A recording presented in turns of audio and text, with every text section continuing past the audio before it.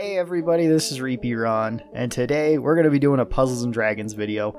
This one is requested by Josu Torres, I think is how you say the name. I could be wrong, that could be Josu Torres. Apologies if I'm getting the name wrong. Uh, they had asked if I could make a video describing how to get Myr and how to get all of her evolution material and maybe make this a little bit easier. Now, I've never done a video like this, so I'm sorry if things are a little bit odd or I'm not fully expressive. If you have any questions about this, be sure to leave them down in the comments and I will be sure to try to make them as clear as I possibly can. So the card in question is Myr, which you get from the dungeon Timeless Boundaries Dragon on either Mythical Plus or Legend Plus. Legend Plus is going to be easier.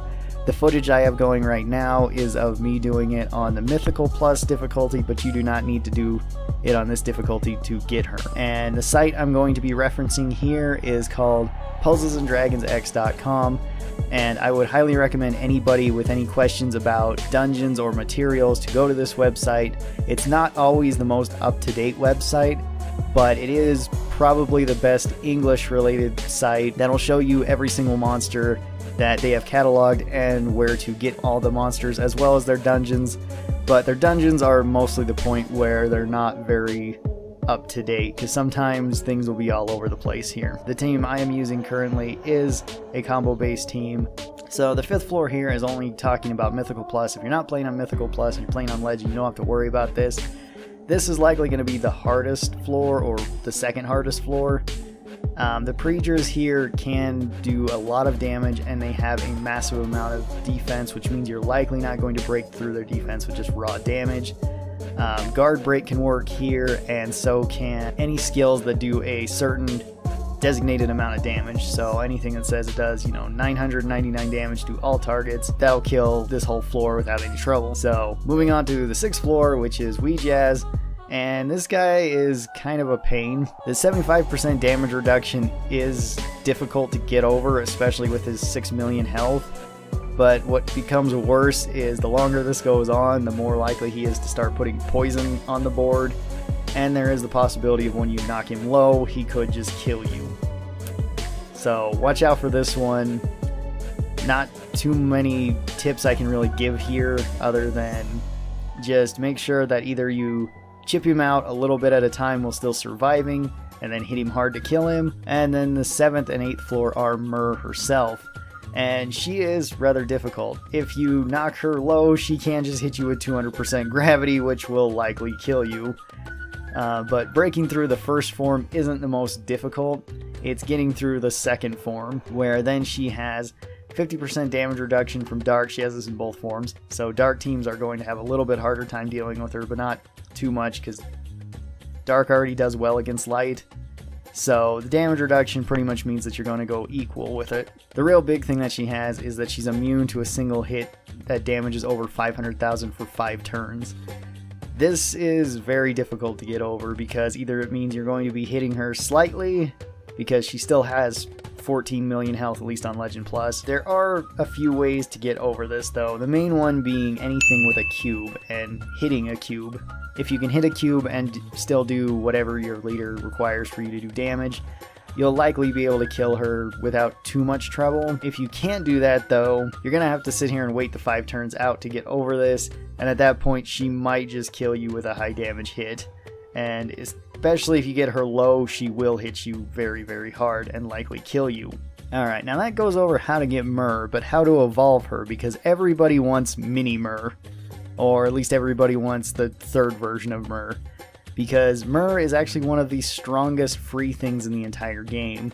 She is absolutely crazy as a leader and pretty decent as a sub, so let's talk about getting her to her second form. Her second form requires a gem of Nordis, a large light gem, an angelet, and two light jewels. Nordis is likely going to be the hardest thing to get here. But since you were already able to do Myr's dungeon, I imagine you can still do Nordis's dungeon, as it isn't I would say it's much easier than Myr's dungeon is.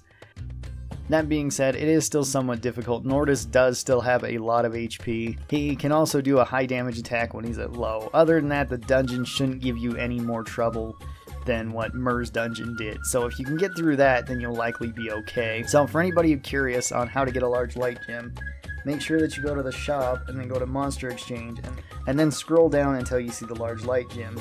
This will show you any of the required monsters that you can exchange for this large light gem. This one really isn't that difficult. Most of the monsters here are more obtainable than Myr or Nordis. So, after that, we got the Angelet. The Angelet can be got from a few different things. The main thing is the Friday dungeon. If you do the Friday dungeon on Mythical, you have a chance of either getting a Angelet or a Devilet. Um, the chance of this is 50-50, so you might get one, you might get the other. Either way, I'm sure you can also do this dungeon since you were able to do Myr's dungeon. And then finally, the two light jewels. You can get the light jewels a few different ways. Sometimes spirit jewel rushes come around, other times the Chinese rush comes around. Um, you can also just get these from the Pal Egg machine if it's an Evo Carnival going around, and you can get them uh, simply by exchanging them with other players.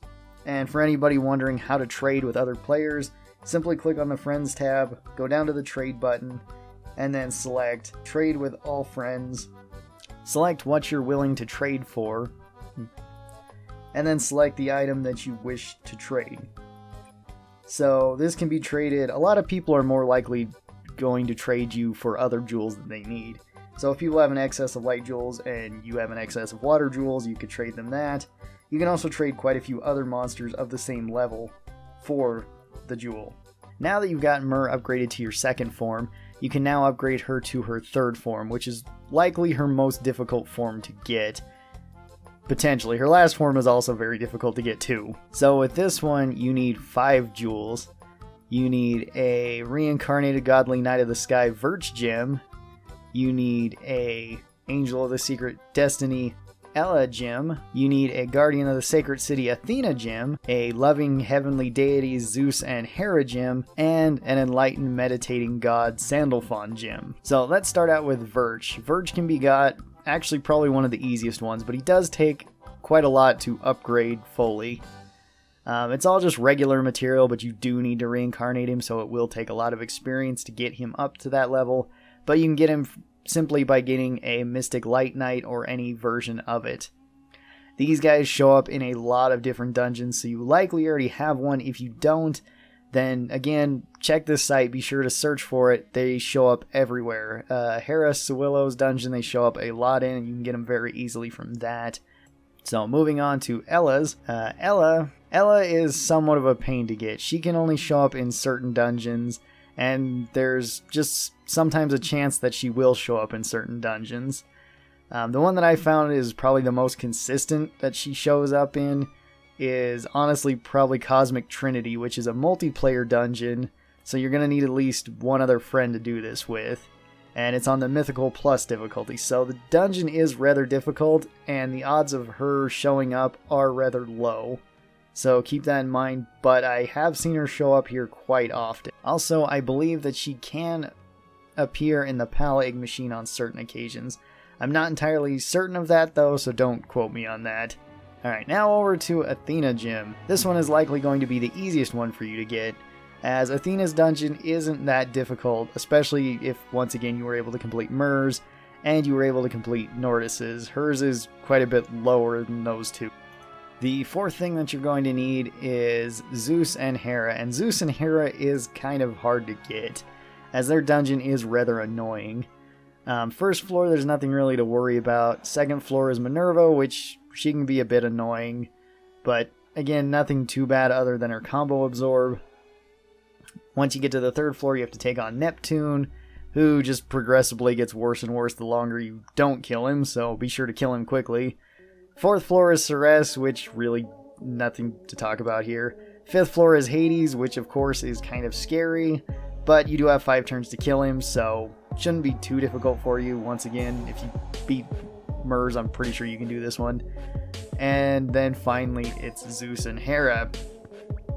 And Zeus and Hera are by far the hardest part of this, as they have 50% resolve, and if you knock them below that resolve, they'll start hitting you harder. Or if you knock them completely low, They'll then do a high amount of gravity to you, followed up by them healing themselves. Now you can get over this in a few ways, and as I'm showing here in this video, this is how I got over it and how I used to get over it.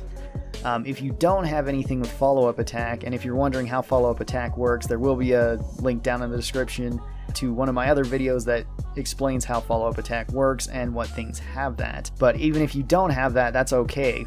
With these guys, they hit you first before they heal, so you can also use a counter attack, as you can see here when I use Anubis. Now, you can use this with Anubis, Belial, and really anything else that has counter attack on it. Um, it will kill them once they hit you with the gravity, and you will not die because they hit you with 95% gravity, so you really can't die from this. Um, however, you can die shortly after this, and then the final thing that you'll need to upgrade your Myr is Sandalphon. Sandalphon is also another one of those kind of a pain dungeons to do, as his dungeon is rather annoying. The biggest thing that I would tell you to do is not go with anything that is dark on your team. Dark is not going to work out well in this dungeon unless you have a lot of health, as on the fourth floor, which is in all fairness probably the hardest floor, uh, you have to fight Raphael, which has 100% dark absorption for 10 turns. And at the end of his 5 turns, he's going to hit you for 100,000 damage. Uh, 134,000 damage to be exact. So, it's probably not best to have anything dark on your team. Sandalphon himself is extremely weak in comparison to the rest of the dungeon, so you shouldn't have any trouble beating him. Alright, now that you've got Myr up to her third stage, there's one more stage after that, being Mini Myr who's even stronger than her previous stage and is, in all fairness, probably one of the harder things to get in the game. Mostly just because of the first thing that's needed, which is the spirit of Nemu of Light, Keely's gem. Keely can be obtained by either doing her dungeon, which is already extremely difficult. Um, there is other ways of obtaining this though. The easier and probably more effective way of getting this jewel is by doing ranking dungeons. As a ranking dungeon comes around, fairly often anymore in Puzzles and Dragons, and they like to put these things as their rewards for scoring higher in the dungeon. Um, some of these can actually be very easy. The ranking dungeons that have came out recently have just required you to play them multiple times to score very high. Um, other ones do require you to get a high score, usually above 65 to maybe 75% of everybody else doing these dungeons. So once you have that, then you need to have a Diamond Dragon Fruit and an Ancient Trigod Mask. Now, a Diamond Dragon Fruit and a Trigod Mask are also very difficult to obtain. You can get these by doing quest dungeons that show up once a month, and usually they're towards some of the hardest dungeons to do, and you'll get them just from completing it. But you can get them also well, you can also get a Diamond Dragon Fruit from the Thursday dungeon, but it's a rare invade from the Diamond Dragon Fruit at the end. Um, if this does happen, which there's a very low percent chance that this will show up, it's something around 2%. So you'll likely be doing this dungeon a lot, and this is the highest level of the dungeon, so it's going to be costing quite a bit of stamina, but you can get one through that. And finally, the Trigod Mask seems that you can only get it through doing high level dungeons and getting it as a reward. So, once again, this is a very difficult thing to get, but it is, for the most part, obtainable. So, this one is going to be a very difficult one for you to upgrade. However, you don't necessarily need Mini Myr, as the third version of Myr has more or less very similar stats and awokens it's just that the mini one gets everything but more. So she's just a little bit better at just about everything. Alright, so that'll do it for this video. I'm sorry if this didn't really give you exactly everything that you wanted, but hopefully this gave you some information that'll help you out so that you can get Myr or really to get anything. Once again, I would highly recommend going to puzzlesanddragonsx.com. Uh, I'm not affiliated with this website in any way other than the fact that I use it very often. I find it very useful just for looking up informations about dungeons and about Evo material. So be sure to use that on any other sort of questions that you might have on monsters on how to evolve them. thank you guys for watching this video. I hope you guys enjoyed it. I hope it helped you. If you guys did enjoy it, then be sure to subscribe to the channel, like this video, and leave a comment down below telling me what you thought of the video. And as always, if you guys have been having a good day, keep on having a good day. If you guys have been having a bad day, well, I hope this video made your day just a little bit better. I'll see all of you guys next time. Until then, stay cool, and Bye.